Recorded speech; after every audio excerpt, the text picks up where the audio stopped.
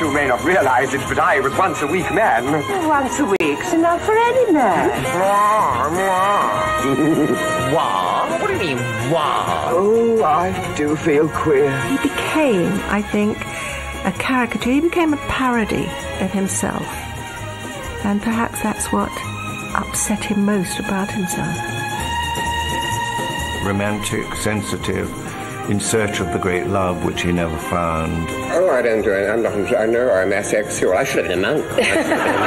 Not on your Nelly. The much loved actor and comedian Kenneth Williams kept a diary for over 40 years. When these journals were published five years after his death, what they revealed caused a sensation. Kenneth has developed even more fans now as a consequence of the diaries than he had before. I mean, a lot of people have said that it's one of the best books they've ever read because it covers such a huge swathe of history. Um, it involves so many famous people, uh, but it's it's just such wonderful gossip as well. Whether or not he thought that they would be ultimately published, uh, there was the need to express these other layers of himself. And the moment you put them into print, uh, or you've written them, they are real. That's the real Kenneth Williams there. There's a lot of lies in those diaries, you know. There's a lot of fantasy in those diaries. I know that for a fact, but I won't go say more than that. I think people get a very um, dark view of Kenneth from the diaries, but I think that's because the written word is so harsh. If you put down something in writing, it always sounds much worse than if you're expressing it. And of course, Kenneth had his dark moods. But I mean, for most of the time that I was with Kenneth, you know, he was a very up person. Kenneth Charles Williams was born in 1926. His family lived in King's Cross, over the hairdressing shop where his parents worked. It must have been difficult for Kenneth because obviously he was a fairly sensitive, artistic child, and his father was one of those old fashioned type of cockneys, you know. And I think his relationship with his mother was very close, and the closeness with the mother, I think, probably caused a lot of friction. But I think Kenneth only went to the local school and. Uh, you know, was a cockney really as a kid, I guess. But of course, to meet him later, you'd never realise that. He described to me once uh, this teacher. Uh, he said the teacher was very dishy, and, and, he obviously fell in love with the teacher in a very innocent, platonic way. But the teacher would, w- who taught English, would read poems, and the whole class would be spellbound. And he said the moment that I was asked to read a poem, it was by Rupert Brooke. He said I got up in front of the class, and suddenly I realized they were all listening to me, and suddenly I knew I had authority over them, and that was uh, a key moment.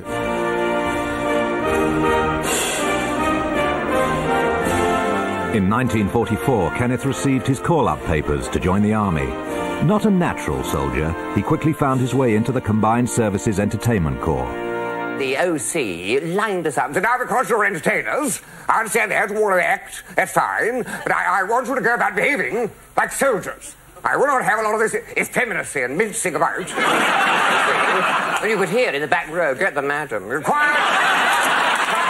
And there was a civilian dancer called Barry Chat who had the most extraordinary effect on the military. When he arrived in, the, in Burma, he was at the HQ, standing outside, and outside the HQ were several generals, brigadiers, with rolled up maps, you know, and field glasses, all standing there outside the HQ. And this dancer, Barry, did a pirouette about six times, fast and very fast indeed, and then tapped this brigadier on the shoulder and said, Tell your mother we're here, dear, put the kettle on. Camp uh, arrived in two senses at the same time. Really, there was army and there was there was theatrical camp, and they were indistinguishable really for that troop because that was. But it, well, that was a revelation to him, I think, in lots of ways, and it was to lots of returning soldiery because they realised that there was a sort of homosexual brethren. Suddenly, there was what we now think of as a homosexual community that actually existed in London, and it had its haunts and so on. Before he went away, he hadn't realised that, and it brought that suddenly alive to him, and it was something that was legitimised by there being so many theatre people in it. And so I think that was that was very liberating for him. Returning to England, Kenneth was keen to continue as a performer. His father had other ideas. He said to me, You've got to have a trade, boy. It's no good going, because I said, I wouldn't mind doing a bit. Acting is rubbish. All the women are tarts, the blokes are puffs. You'll never make, never make any money because it's too hazardous. Kenneth thought it was a risk worth taking. He joined a theatre company and spent the next few years touring around the country in rep. It was the summer of 1954, and I went down to Bridgwater in Somerset to be the leading man in a weekly rep. And in the company was this young actor, or younger than me, uh, Kenneth Williams, who was the juvenile character. And it was, um, we just took to each other from the start. We were, we were very much kindred spirits. Hands across the table. I went to visit him uh, above the barber shop. His father was the barber. And we spent the whole afternoon talking. And he put on a recording by Johnnie Ray. And we were lying on the floor listening to this music. And I was suddenly aware how beautiful he was. And there was a kind of sexual chemistry in the air. Neither of us did anything. Uh, but he was luminous. He just lit up from within. Hands across the table. Kenneth thought that he was physically ugly, and this is what uh, was one of the problems why he could never have an emotional or sexual relationship with anybody else. He hated his body. He had a guilt complex about being gay. I'm, I'm quite certain of that. I think anybody who knew Kenneth well uh, did not really. Uh, Kenneth didn't accept really, I don't think he probably really accepted his homosexuality. He, he was very mixed up about it. You have to realize um, that in those days, um, anybody who was gay, I mean, the police, they could be arrested. And, um, uh, you know, they were arrested. People were arrested. And uh, dear old England, you know, always sort of behind everybody else. Um, it was really, I think, an absolute nightmare to be a, a homosexual.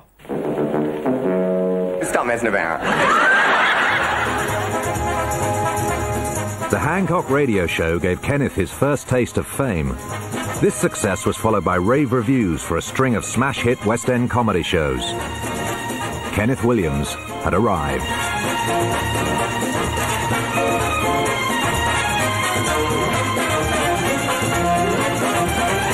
What is your name? Please.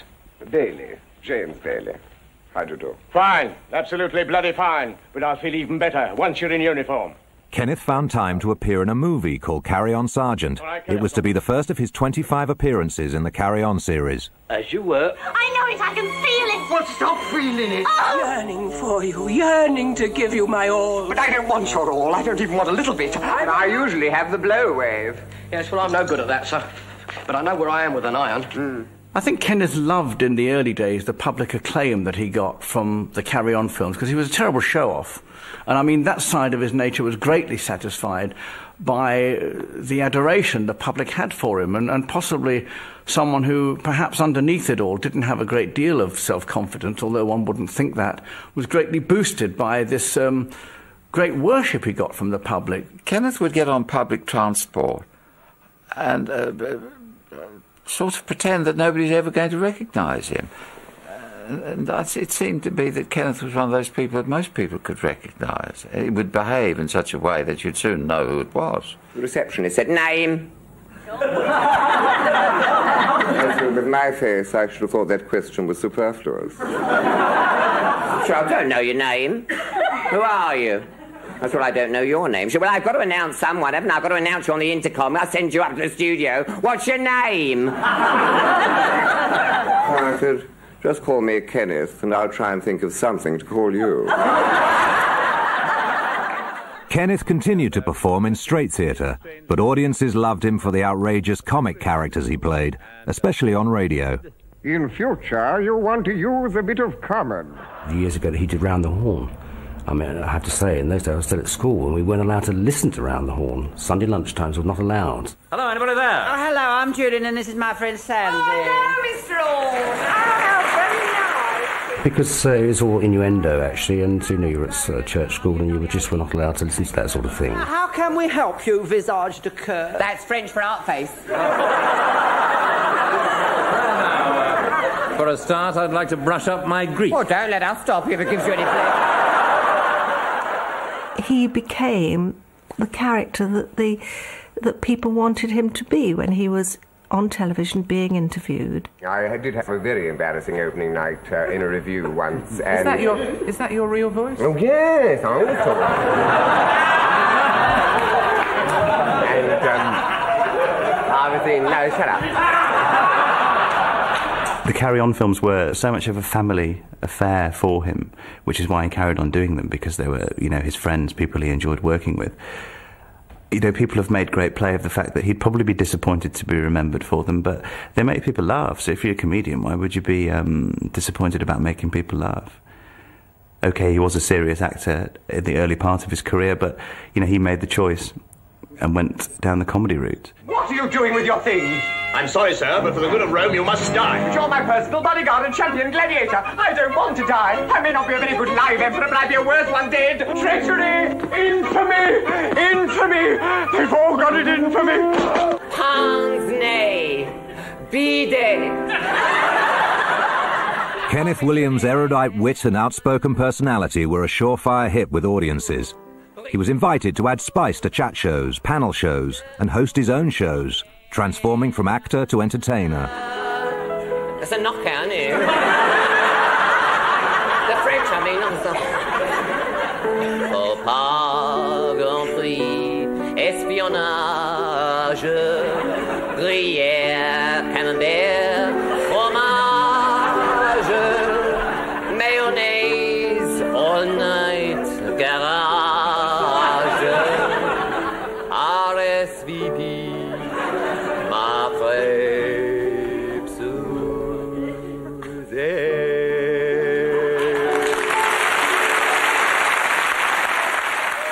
steadfast supporter and number one fan was his mother, Louie. He just adored her. He sort of worshipped her.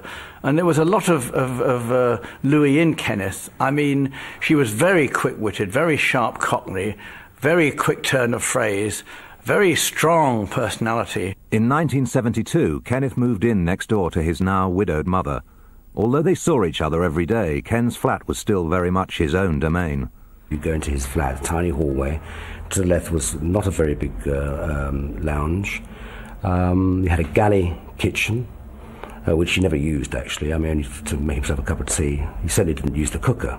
The cellophane had been on the cooker for years and years and years and never came off. And then he had his bedroom, and within his bedroom, uh, a single bed in there, and to the right of that was his, his desk, where he did all his writing, and that was it. all the other people in the flats had had um, cleaners to come in and clean. He couldn't afford a cleaner, so he would run the Hoover up and down and put on a funny voice, pretending to be his own maid. I don't think anybody could have lived with Kenneth Williams. Um, I, I think he would be the first to say that. I don't think anybody could have lived with Kenneth. Privacy is the most important thing in my life, and anything which invaded that would be a threat. So consequently, I live a life of celibacy. I am not interested in the other. And I'd phone him up and I'd say, Fancy a bit of supper? No, dear, I'm not going out tonight. No, no, no, no, no, no, no. And then ten minutes later, he'd say, Oh, we suppose we could go. And, um, and we go to this lovely club I used to go to, where he loved chatting up the waiters. He had the best time. Always a trick, dear. Oh, there's one over there, dear. I mean, and used to tell me, I mean, you know, I don't think anything ever happened in, in that part of Kenneth's life, certainly in those years, but uh, he used to love chatting up the waiters. He seemed to me that he was very often this rather supercilious, rather grand. Um, he was indeed very er- erudite. He he knew a great deal about many many things. Music. He was well read. He was highly intelligent, and then he could slip out of that on a you know just so quickly, and he could just scoop into this wild, mad, maniac, face pulling, campy, outrageous character. And in the middle of this sequence, I let one go. It was the sort of lunch, you know, that lunch. and, um, Do you mean you let one go as in you let one go? Right. I think the dictionary term is eructation. and uh, anyway, I was all this, oh, you beautiful skin, lovely, lovely, lovely creature, you see, and then, oh, And sometimes he was quite proud of himself for exceeding the limits. He would come back and write in his diary, I behaved disgracefully. And you know, he's loving it, yes. Because I am a cult figure, you see, I'm an enormous cult. I am. I'm one of the, one of the biggest cults you'll get round here, huh? But he was a different person when you had him without a crowd of people. when he only had two or three friends whom he knew. He, he was relaxed and, uh, and uh, sweet. Didn't want to uh, try to impress anybody with his performance. He was a man of such contradictions. I mean, huge contradictions. We, we would see each other a lot because we lived closely. Sometimes I'd see him walking down the road, and some days he'd ignore me, walk past, and he'd make a think, "Oh, I'm not going to talk to you today, dear," and I just walk. Other others, it was like he was an imp. He was a little boy. insist walking down Shaftesbury, was it Shaftesbury, Shaftesbury Avenue, I think, on holding my hand, which again, you know, it, it, it's quite odd. You're thinking, what if one of my friends sees me? But I thought, well, I'm no, I'm not going to, I'm not going to look nervous about this. I'm not going to back off. I'll just do it. So I walked down the street holding his hand, and then he then he stopped. You know, I don't know if it was a kind of test or something to see, you know, what me, this straight bloke, would do walking down the road with a very well-known homosexual figure. Kenneth's friends were terribly important to him. They were his family, really. And I think that uh, he really appreciated the fact that all of the people who loved him let him into their families and to become a part of their lives. But I mean, it was a wonderful pleasure for all of us to have him around. He used to come down to the country, and, and my son was little at the time, and his friends used to come around, and, and Kenneth would then begin to entertain the kids. And I'll never forget it, because everything that he was, all the mess, all the anxiety, the stress, the, the depression, the manic thing he had, the fear, the guilt, it would all sort of melt away completely. And, and out of this came this pure, pure innocence. He is one of Britain's most popular comedy actors. I remember seeing him in all those Carry On movies. He is the most English of any of the Englishmen I've ever met so far, Mr. Kenneth Williams. By the 1980s, Kenneth had all but abandoned acting, but he carried on performing in his own inimitable style. But he aged, became very lined and, and thin and gaunt, and the body became gaunt. That's sad, all that. that. That's an outward sign, I think, of something shriveling up uh, within himself. It became difficult for him because he wasn't doing the work that he'd done before. He wasn't so in demand, but he was still living with the Kenneth Williams carry on character that people were seeing on TV from 20 years before.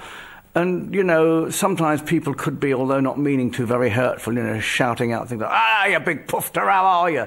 And, and you know, uh, for Kenneth, it may seem funny, but it wasn't funny. And I think in the end, he just used to run away and hide. Once you start, stop performing, uh, suddenly you are alone with yourself. There's no audience there, and that's when the dark moods would descend, and there's no companion to share your life or your bed with, or your jokes with, or cleaning your teeth with. Um, and that's when the demons would race in. But the problem uh, in, in, the, in his later life was the fact that Louie no longer became uh, the companion she was. She'd got old and he had to look after her, and uh, it becoming a full time job. And then he came to us and he said, She's going in a home. And uh, I said, Are you sure about this? He said, Well, I said, no, but I, I, I think I'll have to talk to her about it. But he never did. He never actually, you know, said, Okay, um, you're going into a home, because then I think Ken still needed that comfort from, you know, from his mother, although she lived next door, because he would have been very much on his own. I think he was in pain, yes, I, I do believe that. Um, not all the time. I think something could be a little act of Ken's, but uh, but you could tell. I think the last sort of four or five weeks of his life, uh, there was a very grey face there, and he did look pretty poorly. Obviously, there was a problem there. I think he was afraid it was cancer, and he thought, you know, and the pain was very bad. And it did seem that he'd left it rather late. And I can understand anybody not feeling they can face up to going um, in and having an operation. What if life's a joke? Have you ever thought about that? Have you ever thought? Have you ever thought, what if there's no one up there? What if it's all a joke? And I said, well, if it is, make it a good one. I thought, well, what else can you say? That's the only practical application, isn't it? Yes. In life, if we are here, we're faced with it. Get on with it. Yes, it's no good, you know, taking the, what do you call it, to poison the way out and all that stuff. It's no way out if you're on the trip, or going on the outing together. You don't want people jumping off the coach half the time. You think, hello, what are they doing jumping off? Perhaps uh, they make your journey seem rather dreary, don't they? and I hadn't seen him for a couple of years, and I was amazed by how much he'd aged. It was still the same old Kenneth, but he almost seemed like a shell of his former self. And we went and had lunch and we chatted, and he talked about the problems with Louie and how life was getting difficult and how the work wasn't coming in. But it was fine, and my last memory of Kenneth is he walked up to Oxford Street with me, and I jumped on a bus to go down to Victoria Station. And I'll never forget this. I can see Kenneth now running down the street after the bus, waving goodbye to me. And that was the last time I ever saw him. Kenneth Williams died from an overdose of barbiturates in February 1988. He was 62. The coroner recorded an open verdict. This is from Kenneth's uh, diaries. I wonder if anyone will ever know about the emptiness of my life, or wonder about me and ask themselves what manner of man I was, how to ever tell them, how to ever explain, how to say I never found love, how to say it was all my fault. Who can say where it all goes wrong?